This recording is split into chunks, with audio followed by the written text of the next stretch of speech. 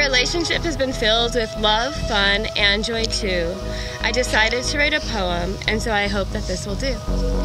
You have supported me through many seasons of life, and I know how lucky I am that you're making me your wife. Nikole, you are my best friend, my true love.